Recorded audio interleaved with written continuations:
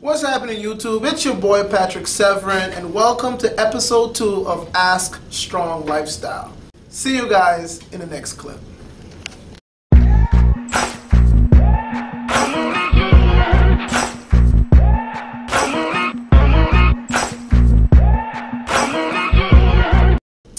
All right, so the first question that I got, it was like a two question part. And the first question was how long I've been lifting. And the second part of that question was what keeps me motivated to continue lifting.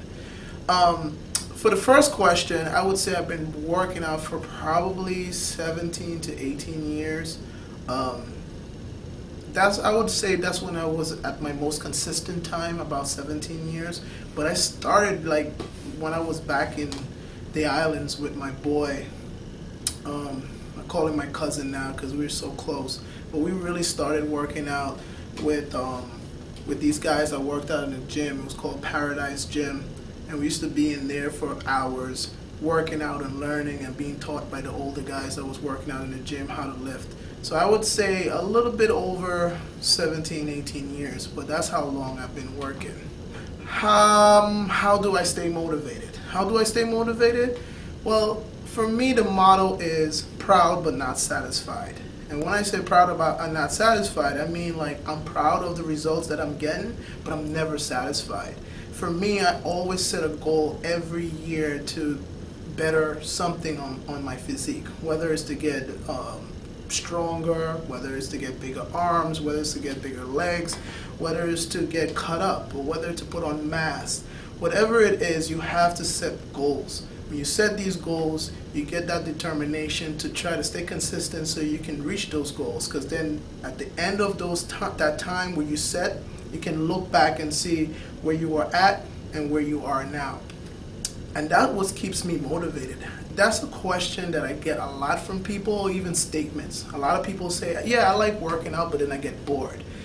I don't know how you can get bored of fitness how can you get bored of not being in the tip-top condition? How can you get bored of not being at the top of your fitness level? I can get bored of that. I love to be able to do things that I was doing in my 20s that now I'm in my 30s. I can still do, do those things and probably at a higher level.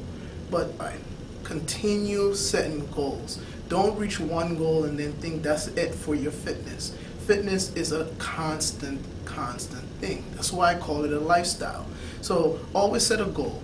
Every year I set a goal, whether it's to get cut, whether it's to gain mass, whether it's to get stronger, I always set that goal. I stick to that goal. I work towards that goal religiously. I mean, I'm so consistent, whether it's in my meals, whether it's in my workout regimen, whether if I have to change the regimen.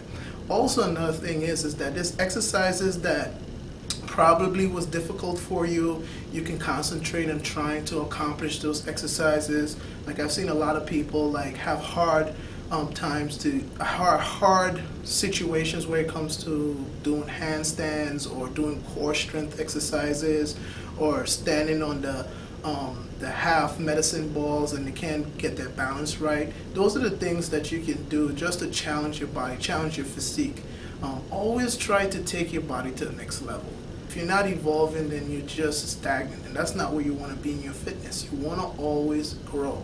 Because the older you get, the harder it gets to stay in shape, the harder it gets to um, stay consistent. So you always want to set these goals and go after these goals. Be proud, but never satisfied. That's how I stay. Alright guys, that's my answers.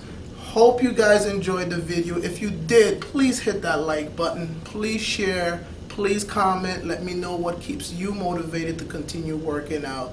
Comment in the comment section. Let me know. And I'll see you guys in the next video. Stay strong, my friends. Peace. Nothing can stop me. I'm all the way up.